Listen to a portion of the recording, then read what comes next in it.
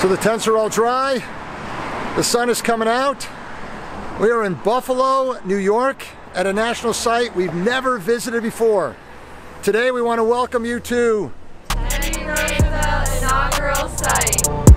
That was good. It's six o'clock in the morning and we need to get over to Teddy Roosevelt inaugural site. There's not much worse than when you have to get up early it's still dark outside. It's been raining morning long and all your equipment is wet. What's the matter, buddy?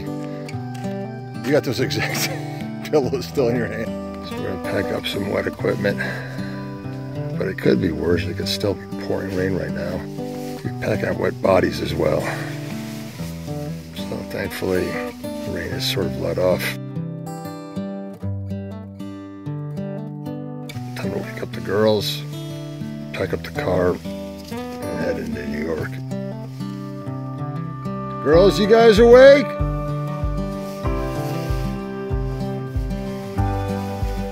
Let's try that again. Hey girls, you up yet? All right, here we go.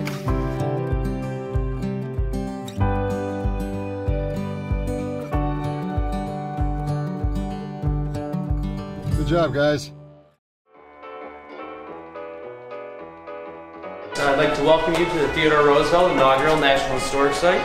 We are here in Buffalo, and this room is here to represent the Pan American Exposition, which was a World's Fair in 1901.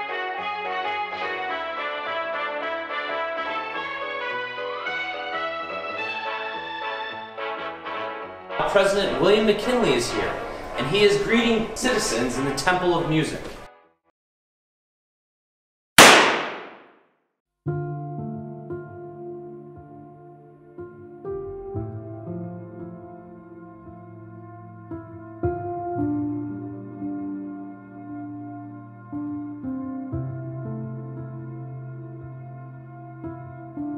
And a little over a week ago, a terrible tragedy struck this country. Our beloved President William McKinley was shot twice by an unemployed factory worker from Ohio. The man's name is Leon Czolgosz, and it's believed he's associated with the anarchist movement going on throughout the country. We were tipped off to the actual site where McKinley was shot at the Pan American Exposition. That's the actual spot where McKinley was fatally shot, September 6th, 1901. A little tiny makeshift memorial right in the middle of a median in a residential neighborhood. September 14th, 1901. President William McKinley died from his injuries. Theodore Roosevelt's nervous. Sipping his coffee, rustling through the newspaper, pacing the room. He knows he's going to have to take the oath of office to become the next president of the United States.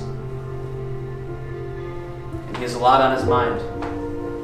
There are many issues that he's going to have to deal with once he becomes president. Now, Theodore Roosevelt's mostly alone in this house.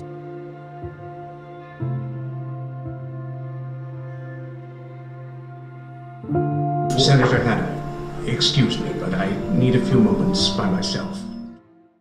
It is a dreadful thing to come into the presidency this way. But it would be a far worse thing to be morbid about it. Here is the task, and I've got to do it to the best of my ability.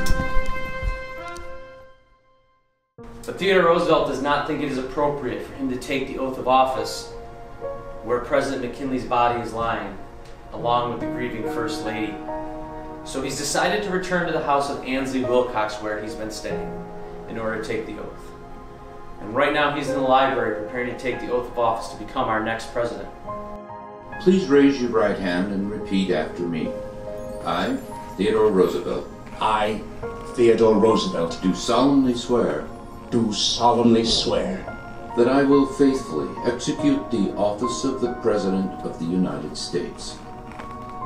That I will faithfully execute the office of the President of the United States President Roosevelt sits at, the desk writing a proclamation to the nation. He wants his statement to the nation to be a way to ease their fears, to assure them that the country is still in good hands.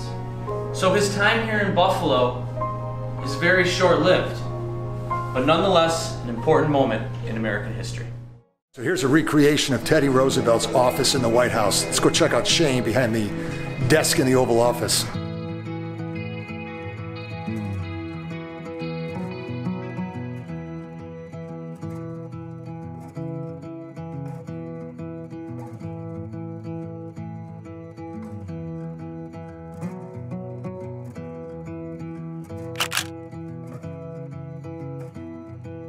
After McKinley died, Theodore Roosevelt was given an incredible opportunity to change the nation and he didn't take that lightly, which I really appreciate because he worked hard to make not only the nation a better place but the whole, bring peace to the whole world. So it's amazing that they had the Pan American Exposition, which is like the World Fair here in Buffalo, and during such a festive time, McKinley was shot point blank by a guy that came to shake his hand with a handkerchief over his gun. Seeing these places in real life, it makes history that much more real and it makes you respect the people involved in history that much more. Um, and this event specifically, with it being such a big part of our nation's history, it makes you appreciate what America is and what we stand for. I like coming to these places because you have a lot more appreciation for who the president was and what they accomplished. Stepping into office, he had to deal with things like big business and environmental things and um, foreign affairs. So he really accomplished a lot as president and um, just set up a great nation for us. To the best of my memory, we have now done Teddy Roosevelt's birthplace in New York City. We've done Teddy Roosevelt National Park in North Dakota. We've done Teddy Roosevelt Island in Washington, D.C. And today we just finished up with Teddy Roosevelt National Inauguration Site. What a nice day we had today. There's the building behind us right there. Uh, much more than I expected. Really didn't know what we were getting into, but it was very fascinating. We had a great tour guide. Um, the overall display was laid out very nicely. Uh, interesting and educational at the same time. So we're moving on. We're gonna head over to nearby Niagara Falls right now. That's the plan. Want to thank you for traveling with us. If you haven't done so yet, please subscribe to the channel. Hope you enjoyed this little history lesson of our great nation. And remember, there's always room for you on every one of our national park adventures. is in the gift shop. You forgot it in the gift shop. By the lollipops. And what if someone tried to buy it? Okay, you're close to me right Shane, Shane, look at me. When it comes to your passport book, you got one shot with that, all right? You can't go back and redo all your stamps.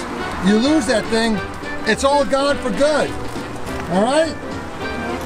You better track of it. Thanks for helping them out, girls. Of course. I'm glad you remembered it now before we got home. That'd be bad.